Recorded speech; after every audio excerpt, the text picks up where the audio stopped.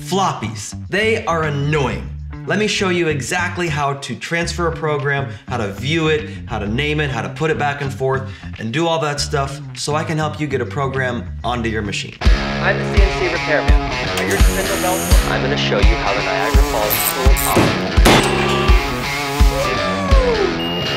The tricky part about floppies is that, while they're old technology, they don't work that well with new Windows or Apple computers, and we try to put big programs on them and it's confusing. There's all these different versions of software and each one's a little different. Now you might have had a floppy on your machine and then you upgraded it to a USB or some other network device. You didn't change the machine, so we still have to know how the machine thinks it's gonna see the floppy and what menus we can use and how to name the files. That's the part I wanna show you and we'll go slow. So to start with, you may or may not have an LCD screen. You probably have an older CRT screen or an upgrade, but it's still CNC generation. LCD, CRT, acronym, acronym. Okay, depending on your age of your machine, you may or may not have a floppy. The floppy might be in the back, the floppy might be in the pendant, or you have a floppy conversion, which is still a floppy to the machine. You go to your list program page and it could look like this, or it could look like this, but let's just say it looks like this. You might have some tabs on this side that say USB or network or hard drive. The majority of the older machines are gonna look like this. So if you have a floppy and you pop it in, okay, well that, that didn't do a whole lot. I wanna get a program onto the machine. There's two ways to view what's on the floppy. Right now we have no programs in memory. If we hit F4, that's gonna create a directory, which is like a program. You can't run it, but you could go view it. Now the star next to it means it's active. So if we hit edit, it pulls up like a program, and this is all the text, it's in parentheses. So we have a program called O12344NC, and a program called O12345 NC, and a couple more programs. Those are programs that we could load. Now here's the tricky part. This is a kind of like a lunchbox with lunch in it, or a file with a program in it. This is where it's confusing and Windows will leave us to be wondering. This is the file, here is the program. And programs need to be very specific to be loaded into the machine or they will not accept the format. You must have a percent sign. You, at the beginning, you must have a percent sign at the end or no go. Empty program errors. You gotta watch it. Some software strip the percent signs or they add double percent signs. So if you have two at the beginning, it sees the beginning and the end and goes empty program. You don't have to have an M30, but that just shows the end of the program and all the code in between. You have to start your program with the letter O. If we go here and look at list program, see how I have an O, then zero, which the slash through it, eight, nine, nine, nine, nine, nine. Now we'll add more programs in a minute. So your program must start with an O in the program, not the file, the program. The file can be named anything you want, but don't confuse yourself. Name the program and the file the same thing. So we would name this O1234. So let's do it real quick. O, not a zero, O, one, two, three, four. What about extensions? Well, let's look here. Let's go back to edit. We could name it NC. That would be for numerical control. I think that's what it is back in the day. So dot NC. NC. Or we could do TXT for text file. Or we could do PGM. Now the machine itself could care less what the extension is. It doesn't care. That's this. It doesn't care. It cares about this. But you can't have a five digit extension or some wonky, wonky stuff. The same thing with this number for here. Don't put uh, op3 train bell whistle with lowercase and uppercases dot NC. This is not going to like it. This is old DOS format. Eight digits dot three maximum extensions, eight by three. You're not going to be able to view these programs, not the program, you'll not be able to view the file on the floppy system if it's not eight, well, eight by three or less than that. That's okay too. And it's annoying, I get it. You have all these programs and you want to know what uh, the comment is. No, keep it simple. Number with O by file extension, then that matches what's on the inside. And I'll, I'll go over that in a minute here. So we're looking, there's two ways to look at what's on the floppy. One is this directory list. But if we go back to this program, it doesn't help us. So we'd have to look at the directory list and edit and go, okay, there is a, not a program, a file called o12344.nc. Let's call that up. This is old school. I'm back here. I'm going to go to all. At the bottom, we have disk read, disk directory, disk write. So I'm going to go the letter O, one, two, three, four dot NC, that's the extension, and then I'm going to hit F3 to disk read. So this page, oh, file not found. Good, we're having some issues. It was one, two, three, four, four. You gotta have the, you gotta know the names of the things that you're doing. Okay, reset that alarm. Back to this program. O one, two, three, four, four dot NC. It's gonna go see if that file is on the floppy, then put it into memory. F4, F3, disk read, tick, tick, tick, floppy turns. Hey, look, there is our program, there is our comment. That's, now it doesn't have the NC, notice it's just O12344. That's the name of the program, and if I hit edit, O12344, just like I have. Now here's the other thing. The machine strips the percent signs. So you won't see the percent sign in the program here but you have to have them to put it into the machine. You have to have them to pull it out of the machine. When the machine outputs it, it puts the percent signs on there. So let's do some more talking. All right, there are more programs on this, and I have one in memory here. I know there are more programs on there because I put them on my laptop or I looked at them on the directory list. But what's another way to do this? Let's hit edit. Let's go over and hit F1, which changes the menu options. We're going to go over and then disk directory is at the bottom. So this is a different way to do what we just did. So let's hit disk directory. It reads everything that's on the, the floppy and puts it here on the screen. Now this is not list program, this is just a visual directory. So we have a file called o12344.nc. We have another file called o12345.nc.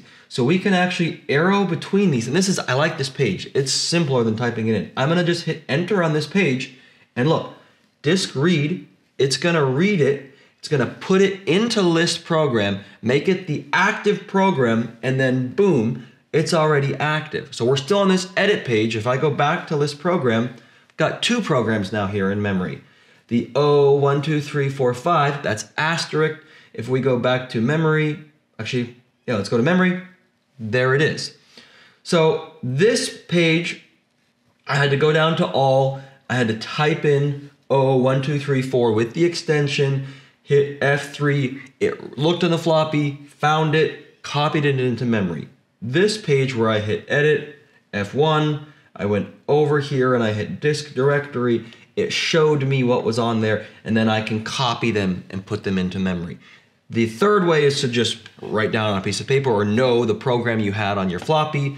You go back to here, just flat type it in and hit read. So we got write, read. Write would be to put something onto the floppy.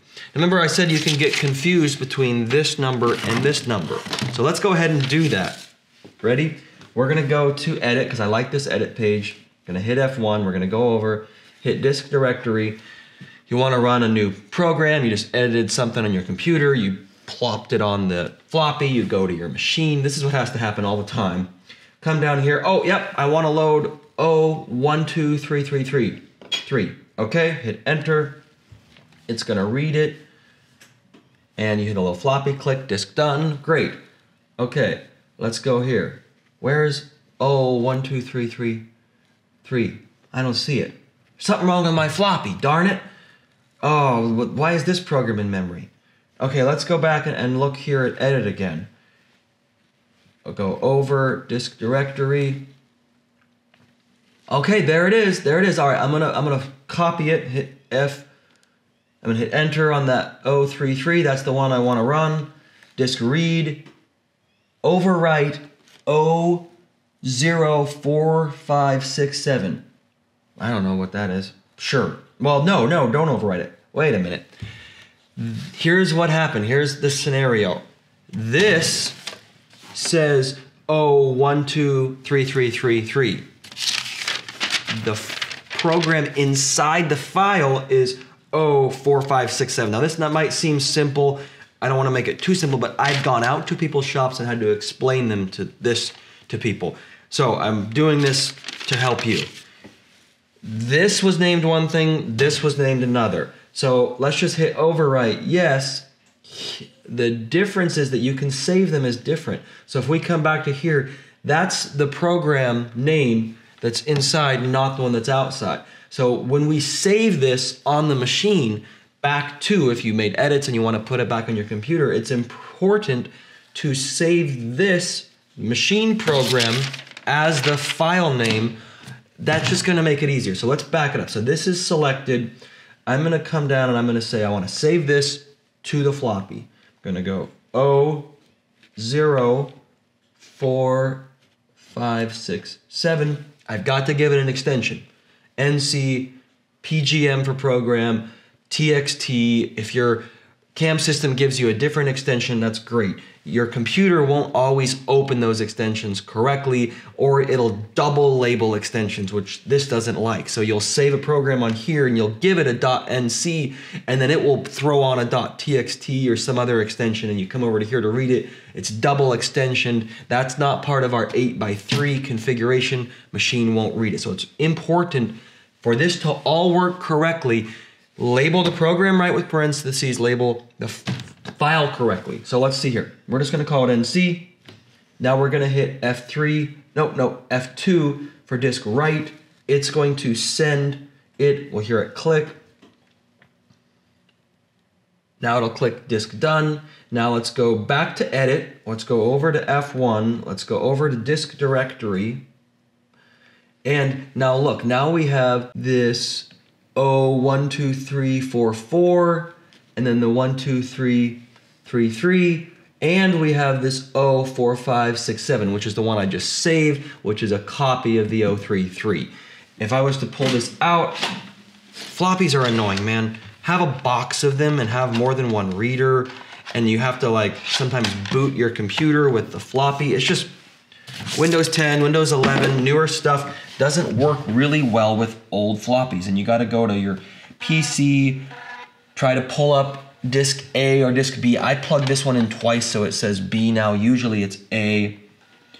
Uh, floppies are just old and, and not a lot of people are using them, but there's tons of equipment out there that still uses them. So if we look here, these are all little files, and I've set up my PC here to accept a .nc extension as a text file you can just create a new text file, give it an extension, put a parentheses, write O1234, put in a couple of M codes, put an M30, put a percent sign, and you just wrote a program on your computer you can send to the machine. So if we were to open a couple of these, let's do the one I just saved, which is the O4567. Okay, there's the percent sign, there's the O with the five digits. Anything in parentheses, the machine will ignore and will put as the comment. If we scroll to the bottom, Here's our parenthesis. If I open up one of these uh, 222 ones, uh, that's, that's the file name 012322, but the program name is 012377. Don't let this confuse you. Stick to the file name and the program name is the same thing. I'm not a huge fan of the, already said this, the USB to floppy conversions. I think they just add an extra layer of. Some people love them and they work great. I've not had good success with it. So, two ways to view programs. You can read and write from them here, but you got to know the extension. You can make a directory list. You can also view them and edit. This machine does not have a USB floppy PC104 card. I have a whole video about that. If you have questions, the only difference would be if that was the case, you'd have a little tab here and you could choose memory or USB or floppy or hard drive. The function is still the same.